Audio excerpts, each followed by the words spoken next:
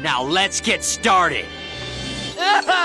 With my rice, I like to have some cow, cow, cow. It tastes so very good, I don't know how, how, how. It's my favorite form of chow.